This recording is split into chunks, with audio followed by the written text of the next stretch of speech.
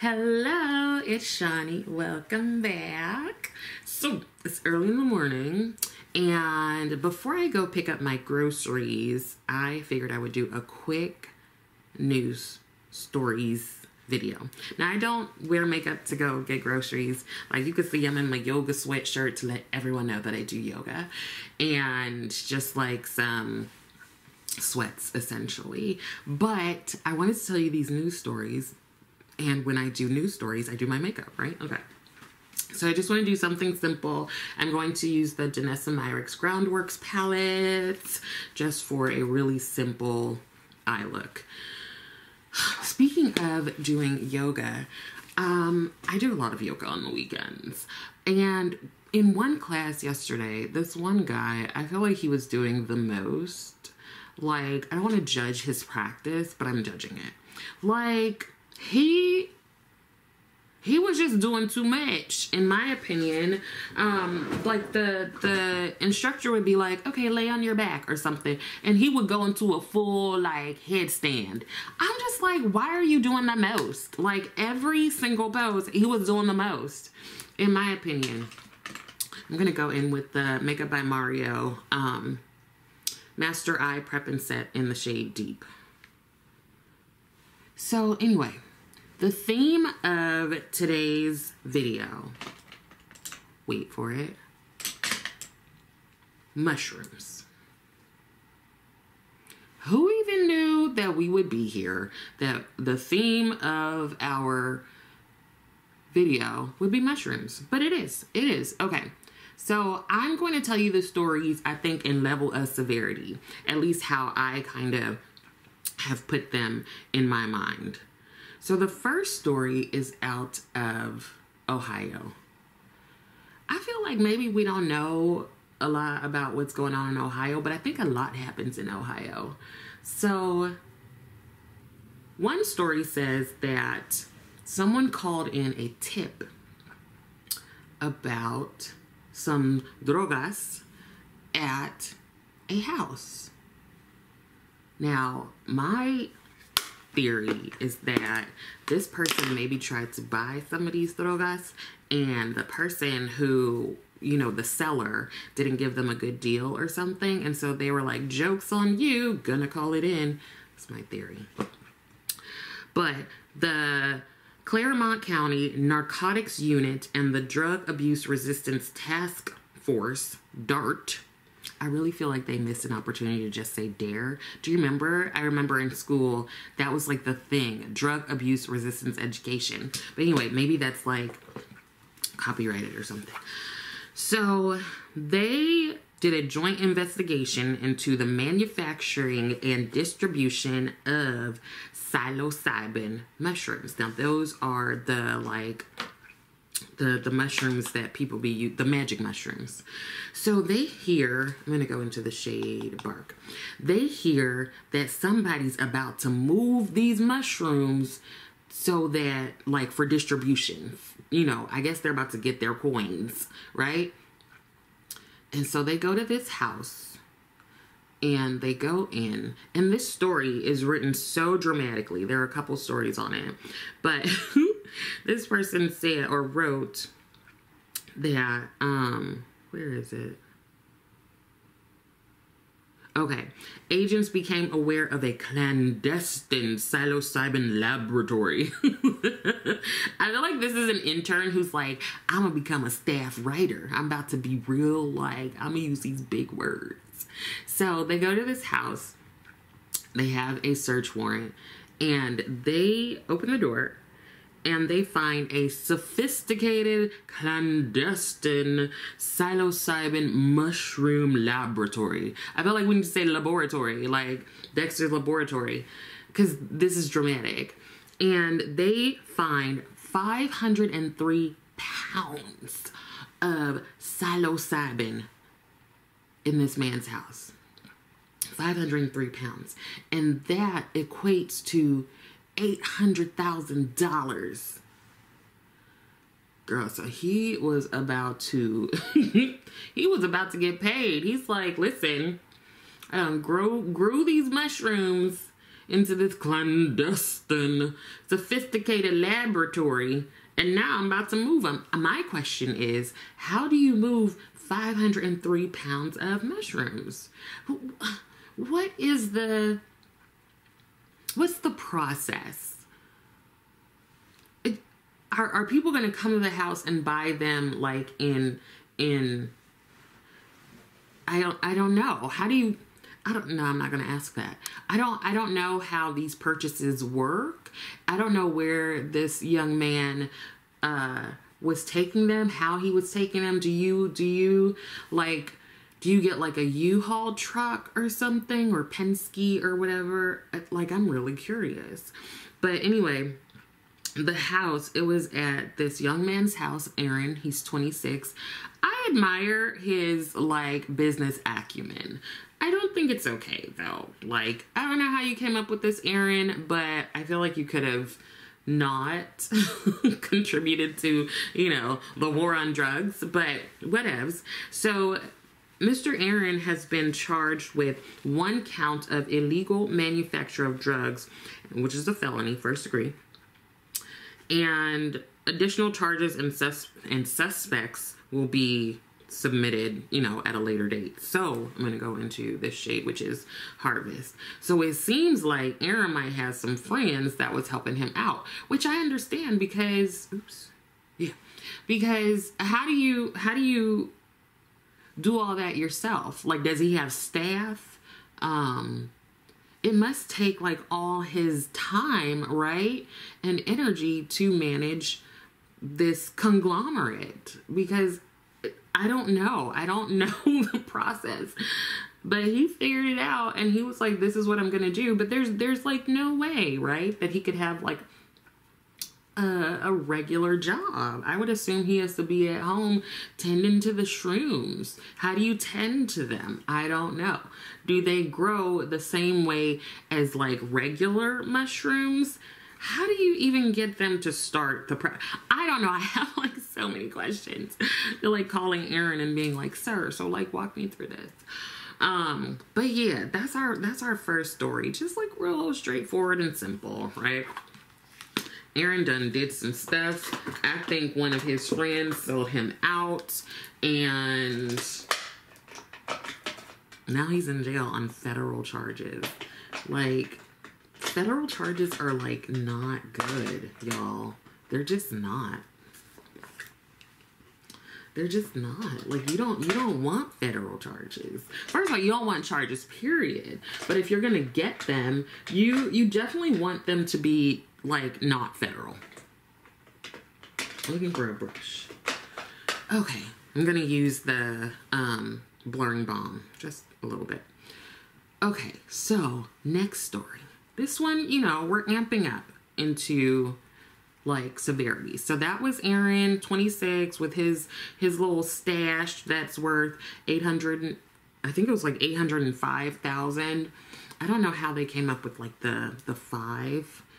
Um, so we're gonna rate that from one being no big deal to five being mm, that's bad. Considering that he is getting federal charges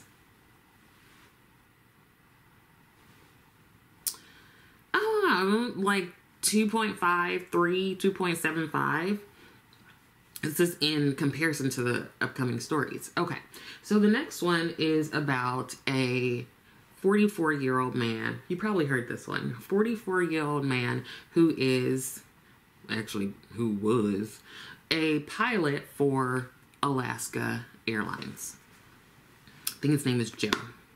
So what I didn't know is that um, pilots, like off-duty pilots, if they're going from like place to place, they can sit in the jump seat in the cockpit of the plane. Which I didn't I had no idea. I don't know why I would know that, but I really didn't know. Um, so Joe is sitting there, you know, chatting with the pilots. They're like on this flight. It was going from like Washington to San Diego or no, San Francisco. Yeah. So he's just there with the pilot and co-pilot having a good old time chatting it up you know just just having you know when you're with people who are in your industry or your career, you just you just connect and you like to talk to them, right?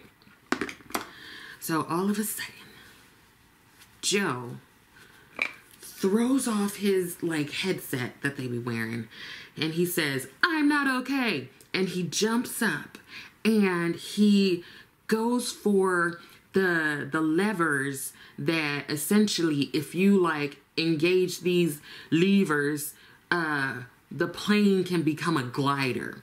So i looked into that. A glider is where like the engine and stuff has been cut and the plane is gliding. And i feel like they make it sound a lot more like chill than it is. I don't want my plane to glide. Like because to me when you shut off when you shut off the engines maybe it does glide. I don't need to find out. But that seems just like a bad idea okay so let me read you a bit more about what they were saying about mr joe so, well, that's another story. Okay. So basically, all of a sudden, the they reported the people in the flight reported a security threat, and they said that the fire suppression system, which is what he tried to turn off, it consists of a T handle for each engine. When pulled, a valve in the wing closes to shut off fuel to the engine. That don't sound good. That don't sound good. So apparently the co-pilot like grabs his wrists and there's a struggle. There's like a 30 second struggle to get him to like not try to kill everyone. And so they're they're calling like air traffic or whatever and they're like there's an emergency um we we've subdued him and we want law enforcement on the ground when we land. So they had to divert the plane, right?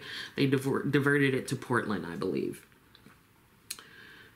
And so while this is happening, the flight attendants and such get Joe and they walk him, they say peacefully to the back of the plane. He gets back there and he's like, You better put cuffs on me or else it's, it's not going to be good.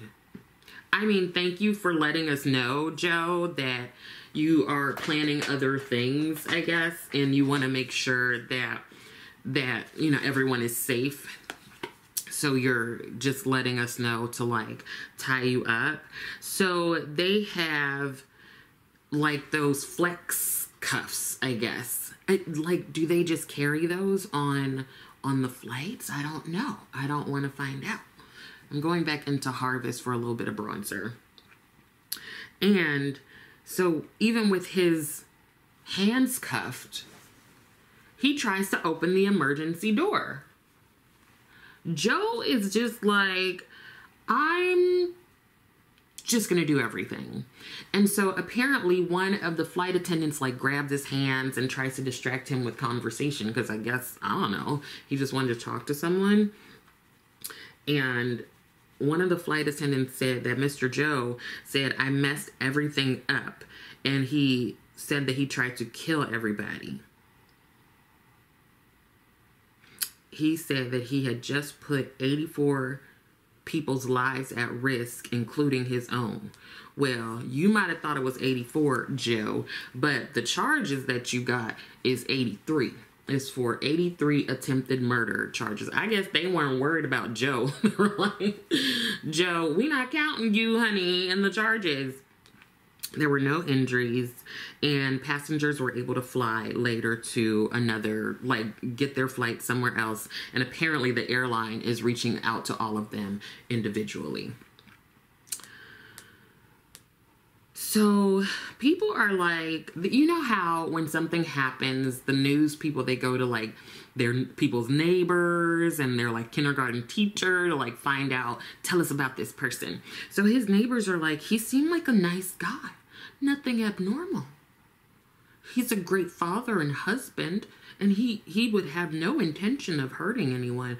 But how how many times are are we going to say am I going to say intent versus impact? You might not have intended such, Joe, but now we tra- we traumatized. That's the impact. Now, so Joe, he's he's been a pilot since 2001. He's been doing this for 20 some years. And I think he just became a captain or something like in 2018 or 2019. But they're like, there are no blemishes on his, um, his file. And he's completed his mandated FAA uh, medical certifications in accord- accordance with regulatory requirements.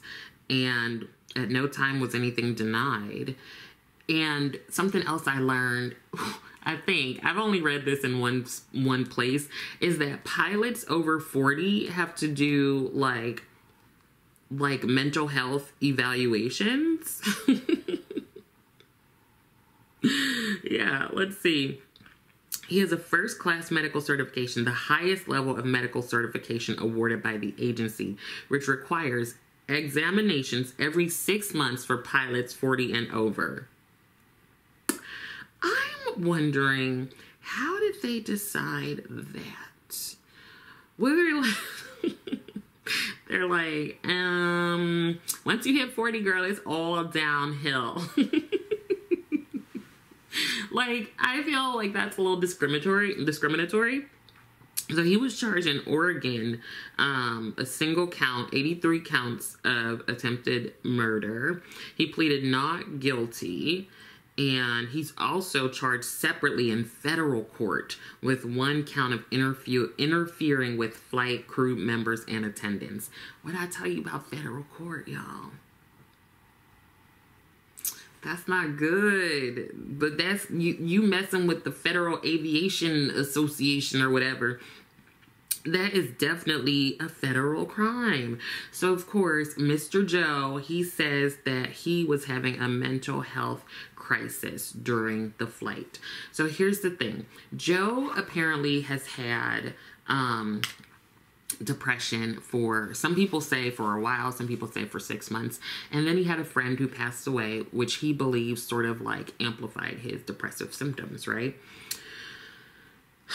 the thing is, Joe, before the flight, like 48 hours before the flight, he took some psilocybin. He took some magic mushrooms, allegedly the first time ever, but then he also didn't sleep for 40 hours. So he took these magic mushrooms about, you know, two days ago, and then he didn't sleep for 40 hours.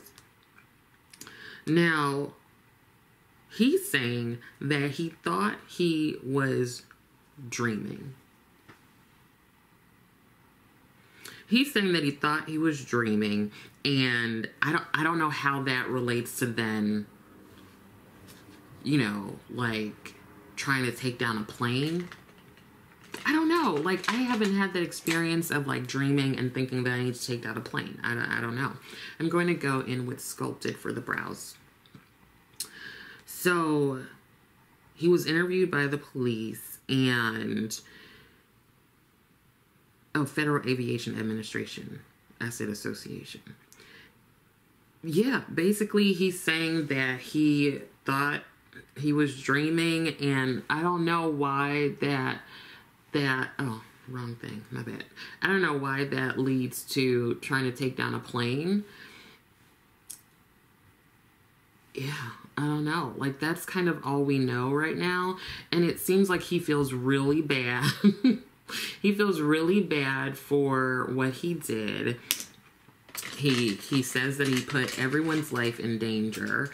Like I'm guessing he's no longer a pilot um, with Alaska Airlines. Like, I don't think you can do that without having some sort of consequence and repercussion. You know, I don't, mm, I don't think that's going to happen. But I'm really starting to get concerned about all of these pilots. Remember, like earlier in the summer, there was a story of the pilot who he was just trying to go home. He was trying to get out of the parking lot, and the the arm of the parking gate it was not working.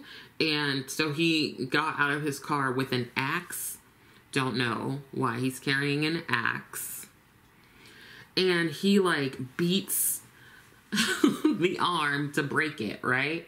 and they had to come and like restrain him. I just feel like these pilots are not okay, y'all. There I actually think there are a lot of industries where people are just not okay right now like in the medical field also with these pilots because isn't there like a shortage of pilots? So you know joe's contributing to that and home dude with the axe as well like two pilots down. But this one is this one is we don't know. So people were talking about um people were talking about whether or not the mushrooms would still be in his system like 48 hours later.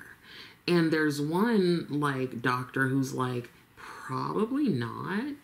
But if this was his first time, and depending on how much he took, like maybe there's some residual stuff in there that like is messing him up. And apparently, the mushrooms can cause some like what looks like psychotic things to happen. But also, everyone is like, he seemed fine getting on the plane. Um, he seemed okay. Uh, you know, he went through security and everything, seemed fine.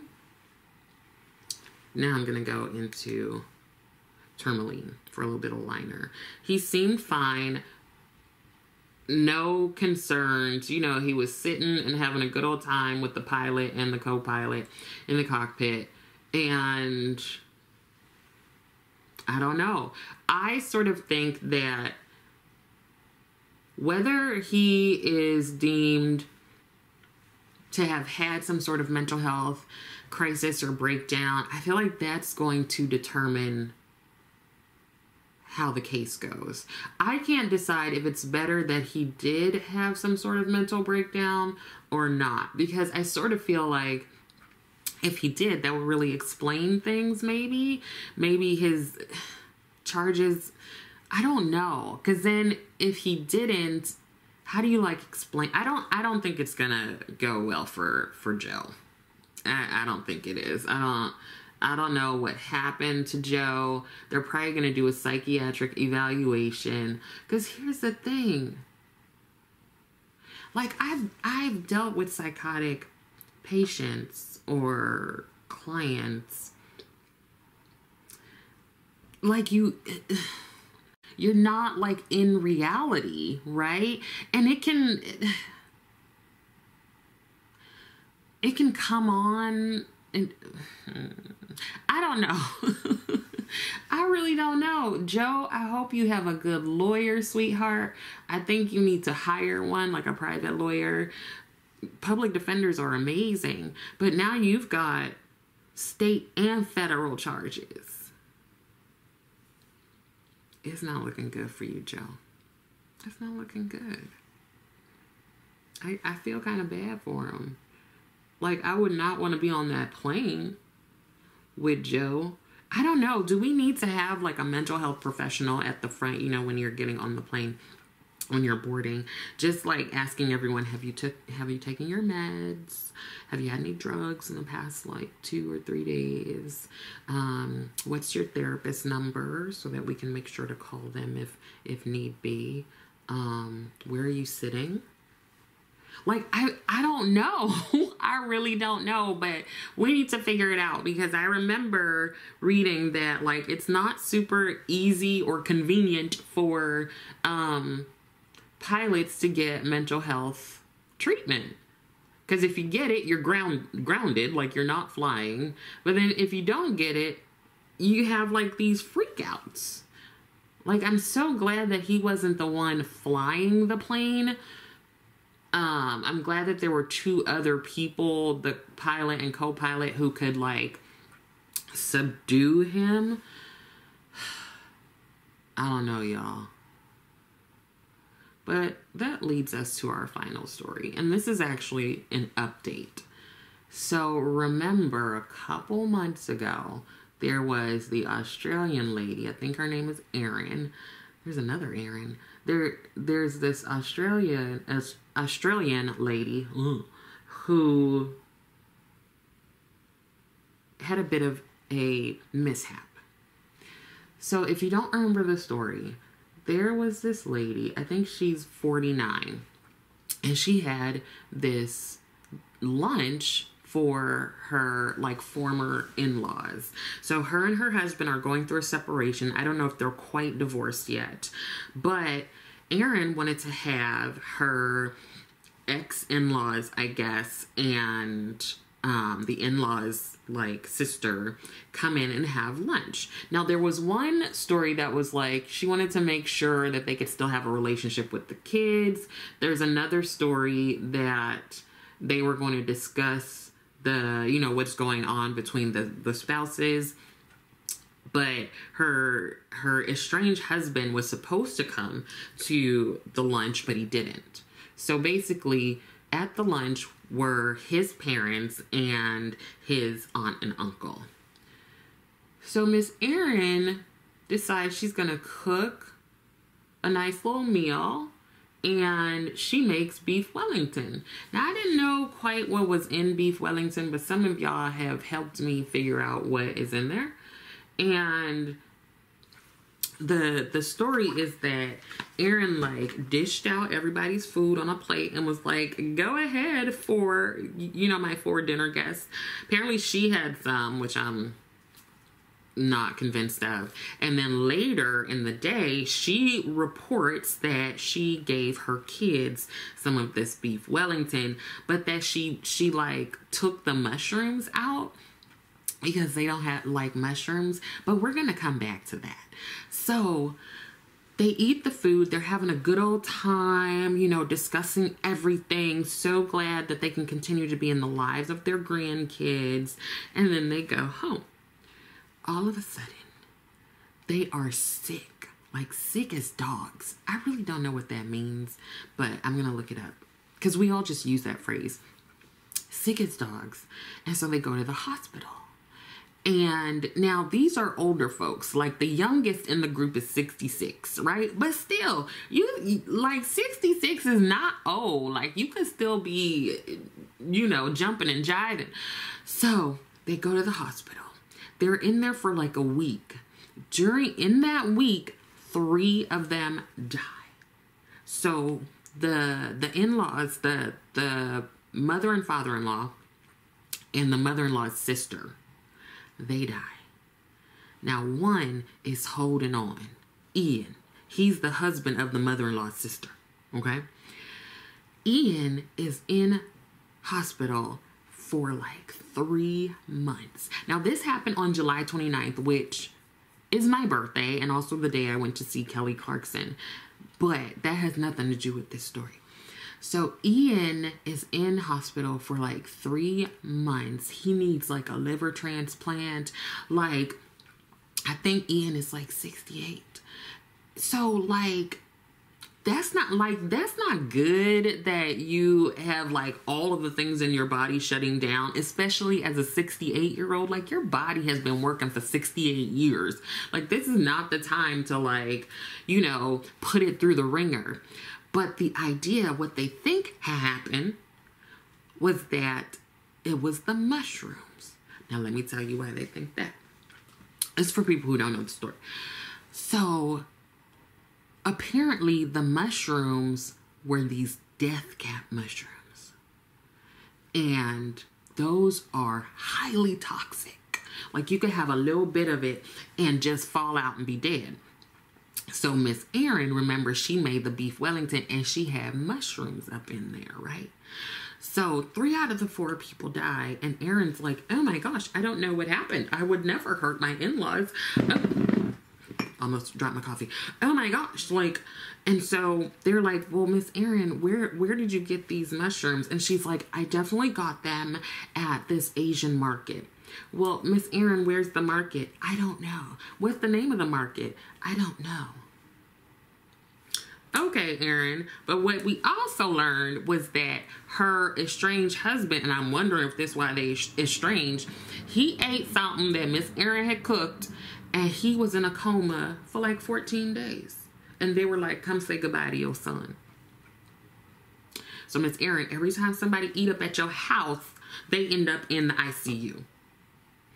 And she said that she had some of the food and she had like a little tummy ache and that her kids had some, but she took the mushrooms out. But what I had learned from y'all is that you like it's baked into the the puff pastry, like it's baked into the beef Wellington. So you can't like like, how would you take the mushrooms out? Even if you picked out every single mushroom, I would assume that the mushroom essence was still in there, like the toxins, right? And then are you just putting like whole like sliced mushrooms in there? Are you chopping them up? I don't know. I don't know. But Miss Erin says that, you know, she took the mushrooms out. Her kids were conveniently at the movies when all of this was happening and everybody, I feel like the Australians are nice because they're like, mm, we kind of think you did this. I feel like in America, we'd be like, girl, you know you did it. Like, everybody ate the same thing and, and, and like most of them have passed away. So recently, the update is that Miss Erin has been arrested. And you know why? Because Mr. Ian done woke up, baby. Mr. Ian was like, I've been in this coma thing for three months. And now I'm coming out of it and I'm coming for you, Erin. So this man wakes up and like his wife has died and his brother and sister-in-law have died. When I tell you I would be coming so hard for Erin, like if I'm 68, maybe I can't, maybe I can't fight her, but I'm gonna hire somebody to fight you, Erin, because we all ate the same thing and only one of us came out of it. Okay, so let me tell you what she's been charged with. She's charged with three counts of murder and five of attempted murder. I don't know how that works. Uh, she didn't enter any pleas or apply to re be released on bail. Listen, y'all.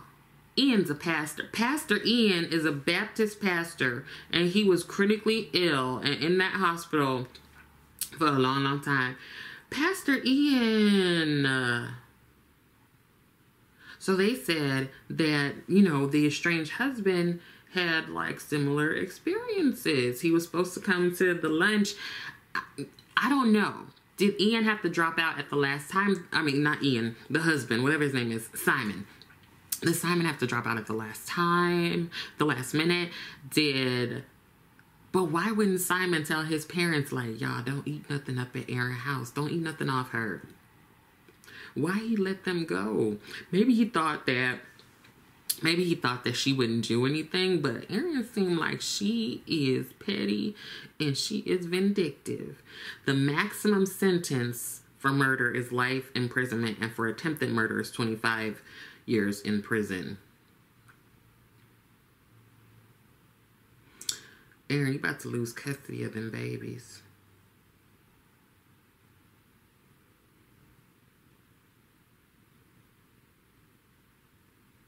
So the prosecutor, Mr. Ellis, he would like the case to be adjourned for 20 weeks. That's a long time, sir. What's that, like half a year? But he wants to let police have time to like search everything. Yeah, so she's she's said I said her name was Patterson, it's Peterson. She said that she's devastated. I love them. I can't believe that this has happened and I'm so sorry. I'm sorry, but an apology is not enough, babes. not enough. So also, she said that she ate the mushrooms and she had stomach pains and diarrhea. That's real different from like dying. Erin, you probably had that stomach ache and diarrhea because you was nervous and anxious about what you about to do.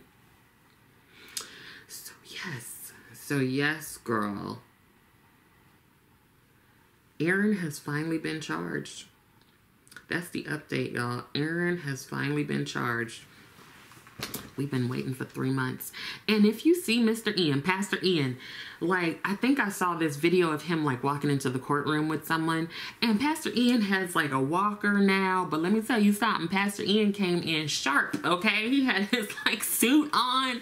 Who, I just, Oh, I can't wait for Pastor Ian to tell what happened because he's the only other person who knows. He's the only other person who knows what happened. And I hope he remembers every single last bit of information. Because they've been keeping, Pastor Ian came out the coma about two weeks ago. They've been keep keeping Pastor Ian like real safe. You know, I I'm guessing he has like a police, you know, whatever it is that where they protecting you, police protection.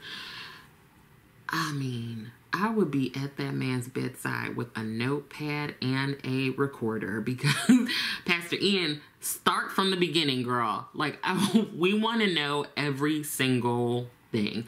And see, I don't think Erin, Miss Erin didn't think about that. I don't think she thought that any of these older folks would make it. Because only a little bit can, like, take you out. And she gave them a whole beef Wellington of it. Y'all. Miss Erin, that's the. Oh, the other thing. How did I leave this the most important? Y'all, her friends are saying Erin's a good old forager of like mushrooms. So she goes out in the in the wild and like forages for vegetation. So she should like know that these mushrooms are like toxic and deadly. Now, if I had gone out to forage for things, I wouldn't know. Girl, I probably put all kinds of toxins in your food, in your food. But Miss Erin knows. Okay, she also had like a food dehydrator because she said that she had gotten the the dehydrated mushrooms from the Asian market that she can't find or know the name of, but she had her own food dehydrator and she tossed that mess. She threw it out. She said that she threw it away because she thought her husband would blame her for everything that happened. But Miss Erin, if you didn't do nothing, why are you getting rid of the, the food dehydrator? Why are you trying to say it's an Asian market? That felt real racist to me. And it just don't look good for Miss Erin. Girl, you're a forager of vegetation. I don't know if that's what it's called. You're a forager, ma'am. You would know what these death cap mushrooms look like. They they don't even sell them in the stores. You can't get these death cap mushrooms in the stores. You have to like go looking for them, girl. Like these aren't just, you know, in aisle 20 with all the other like produce. They're not there. And I don't know. I y'all, what do you think? I think most of us believe that Miss Erin went ahead and took those people out. And I'm thinking that she thought that she was going to take Simon out too, her estranged husband. I think that's what she thought. And all of a sudden, he didn't come to the thing, the lunch. But I'm wondering too, if Simon had come, would she have? Would it have been less mushrooms in each portion. That's the other thing. See, she took the food out for these people. Now, you know, um, I think a lot of people do that. Like, let me take your food out. You know, just sit, relax, have a glass of wine. But now I'm like, if I'm coming to your house, I'm like, you go ahead and eat from the pot real quick first. Go ahead, take take a couple bites because you can't trust nobody these days. Erin. Girl, I wonder what her kids think. I wonder if her kids are like, oh, mama. Like, we about to go live with daddy because you going to prison, girl. Like, these some serious charges. I don't know what they could say. Whoever is going to be her, her lawyer, first of all, I'm guessing she's going to have a public defender. They are probably sitting there real pissed. Like, now I gotta go defend this girl. And we know she did it. Like, what is your defense strategy? What is your strategy? What are you to say? I don't know. I'm not a lawyer. I have no business being in the legal profession. But I can't think of nothing that you would say. At least with uh with uh Joe, the pilot, you could be like, well, he he had a mental health event. You know, there's no real defense for the the other Aaron, the the 26 year old who had the drugs, like that's pretty straightforward, sir. Unless he's like, I don't even live there. You know what I mean? But Miss Erin, girl, I don't know what you gonna say. But I know a lot of us have been thinking from jump that she poisoned those people. But then I'm also thinking like, did she not get any of the maybe she cut the mushrooms and stuff with gloves or whatever like because how did she do that i don't know y'all it doesn't look good for miss erin so those are the mushroom stories girl let me know what you're thinking i'm really curious about the pilot and Miss Erin. Like we already know 26 year old Aaron, like he has his federal charges, girl. You're not gonna get out of that. But these other two, I'm really like, this doesn't look good for you. Let me know what you think. I'll probably have some more news stories throughout the week. Um, cause girl, what are these teachers in Missouri doing? I have a story for you about that. Anyway, let me go get these groceries. And, oh, this is the face with the Danessa Myricks Groundwork palette. I feel like people have not been talking about this palette ever since it came out. I see a couple of people using it, but I am finding it so helpful and handy, right? Like, I just used one, two, three, four, one, two, three, four, yeah, four of the shades. I thought I used five. Four of the shades to do this simple, easy thing that I've got going on here. I think her blurring balm stuff is amazing. And now I think this is amazing too. She did a great job. Very innovative. Okay. Hopefully some of this was helpful. And I also hope that you are continuing to take care of yourself. Um, feel free to like the video. Also, I would love it if you subscribe to the channel. And I want to know, leave in the comments, girl. So we gave initial Aaron 2.5, 2.75. I think I give pilot Aaron a four. Not a four.